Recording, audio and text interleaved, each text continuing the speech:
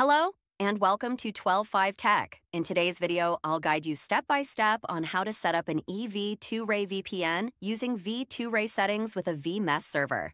This tutorial is designed for beginners, so take your time to follow along carefully. Make sure to watch till the end for a complete understanding, and don't forget to like, share, and subscribe for more tech content. Let's get started. Step 1. To set up the VPN, the first thing we need is a V2Ray server. Open any web browser on your device. Once it loads, go to the search bar and type in UDP Custom, then hit Enter. This will bring up a list of search results. Look for the official UDP Custom website and click on it to access their homepage. On the homepage, you'll notice a menu icon, usually located at the top of the page. Tap on it to reveal all available menu options. From these options, select the one labeled V2Ray. This will take you to the page where you can create your V2Ray server. Here you'll need to fill in some details. Enter a username, complete the reCAPTCHA verification, and then click on the Create button. It will take a few seconds to generate your server. Once done, you'll receive the V2Ray server details.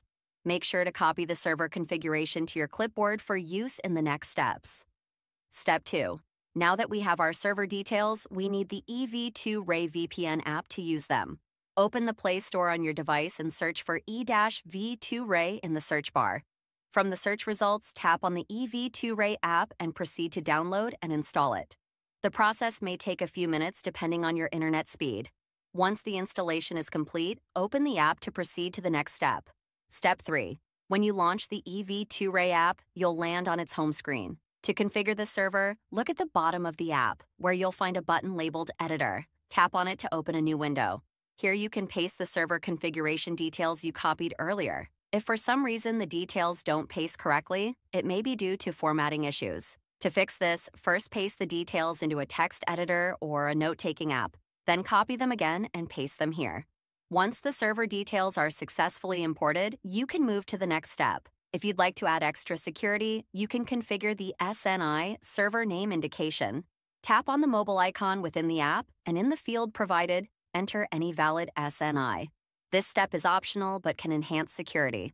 Once done, return to the VPN home screen. Step 4. After successfully configuring the server, you might want to save it for future use so you don't have to import it every time. On the app's home screen, tap on the plus icon, then select Save Config. A pop-up window will appear, asking you to name your configuration. Choose a name that's easy to remember and tap Save. The app will redirect you to your mobile storage where you can store the configuration file. Step 5. To connect to the VPN, tap on the radio button next to the configuration you just saved. Alternatively, if you save the configuration file, you can import it by tapping on the plus icon and selecting Open Config. Navigate to where you saved the file, select it, and then tap the Connect button. The VPN will begin connecting, and you'll see logs and a notification confirming the connection once it's successful. To verify that your IP address has changed, you can visit any What is My IP website. This step confirms that your VPN is working as expected. Conclusion That's it.